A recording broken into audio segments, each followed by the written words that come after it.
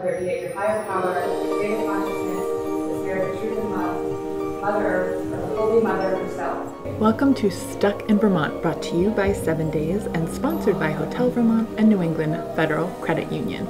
I'm here at Sangha Studio in Burlington. Today we're going to a Y12SR class to learn about the healing power of yoga. There's this quote that's like trust the yoga, which I really I believe in that. It's mysterious. Like you show up and you do these poses, and then all of a sudden, like all this other stuff in your life starts to move around. Yoga has been one of the biggest parts of the puzzle for me. Yoga has helped me replace any sort of negative coping devices I might have used in the past or isolating myself and being too scared to go outside. I walked here by myself this morning and that was a really big moment for me. You always have a place to come. There's always a community here. There's always people that love and support you and I tell people all the time that there is not a single part of my life that yoga hasn't affected and improved. Uh, The mission of Sangha is to really make yoga accessible and affordable to all. So we are nonprofit donation-based studios. Sangha means community and it really does feel that way as you walk in the doors. What helped me in my toughest three months of sobriety, which were the first three months always, it was having a safe place. It was having a place to go to when I was uncomfortable. You know, I moved here a few years ago basically to get sober, and, and I struggled to stay sober, but also with finding community.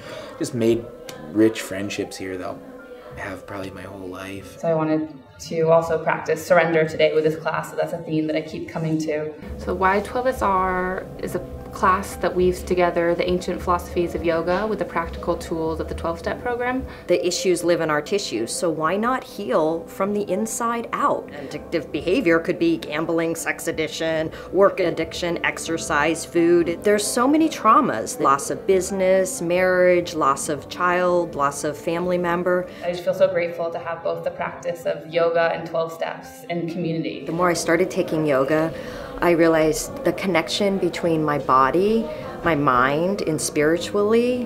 When I was in active addiction, there was such a separation. I just had no clue. I had no sense of what was going on in my body. It was like a foreign object completely, like something to just like use and abuse. Part of what's keeping me sober is that connection between my mind and my body and my emotions. And I was finally like at peace and comfortable and my mind wasn't going a bazillion miles a minute.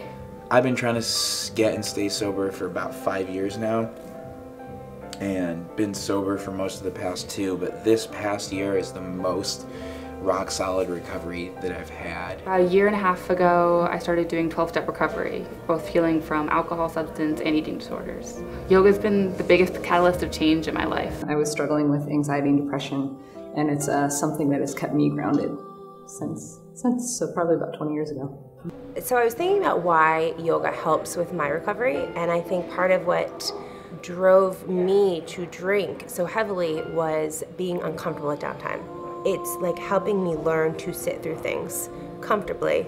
to continue to feel, to continue to open up to people. To express myself, to feel just different things and kind of learn to accept where I'm at in that moment. Honestly, at first, Sangha freaked me out, but I kept coming back, which for me is what I know from recovery. You learn to show up every day. James, just put your shoes on and get there, and then you'll you're gonna flow. So you learn to stay, right? Like in pigeon pose. I don't think I can possibly tolerate this sensation any longer, but maybe I can, you know. And then you do, and then it releases, and you're like, wow. I was like, wow, I didn't just like quit. I can really feel grounded and take that deep breath, think before I speak, and just feel like more centered in myself. And the tools that you learn in yoga give you access to that power for yourself. But it really is this skill that comes off the mat with you. And then you realize, okay, when I'm feeling this way, taking those deep breaths brings me back to center. Thanks, you all. It really is the mission of the studio to bring these supportive things out into the community. And then again, targeting certain groups that really might not necessarily be exposed to the healing power of yoga otherwise. We're at COTS, Lund, we're at Woodside, the Juvenile Rehabilitation Center. And so Turning Point is one of our locations where we also go to the location. Turning Point Center of Chittenden County is a peer-based recovery center. We see miracles happen there every day. 60% of our guests or more are in their first year of recovery, so their bodies have taken quite a beating. And here's a chance to kind of recalibrate your, your body through yoga. And people are just in love with it. And there's a, an amazing following. It relaxes the body, it centers people's focus, it's, um, and gives them a tool to help them deepen their recovery. And so we are delighted with it and offer it four times a week. Soften the hamstrings. Let go here. Shake your head.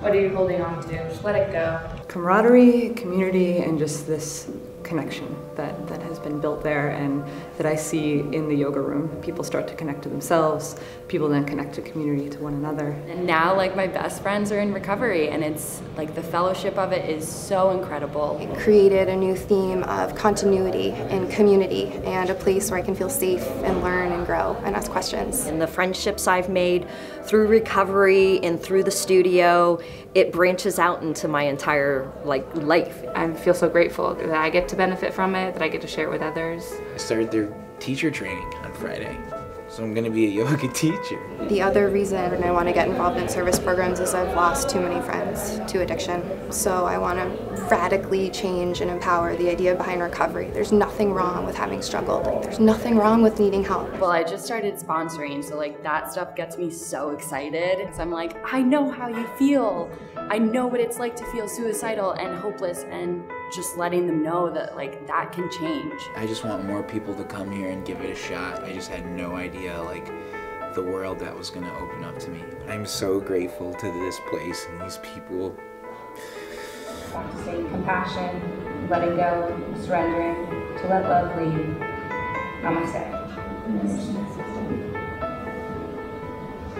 If you would like to learn more about Sangha Studio's 23 service programs or about their recovery programs, you can check out more on their website. And we will get stuck in Vermont with you again real soon. Oh, feeling stretched out. Follow us on Facebook, YouTube, Twitter, Instagram, and sign up for weekly email alerts and try yoga because I know it helps me a lot. Oh, yes, I'm feeling good. I just want to give you a hug and tell you I love you and like that it's okay to struggle. It's okay to not be okay. You don't ever need to go through this struggle alone. That you got to this place as a way to survive maybe through really dark things and you don't have to do that forever. Maybe it's time now to move forward and to give yourself that second chance to realize like you deserve it and that we just need more of that in the world so that everyone can start feeling more okay, I think is my message.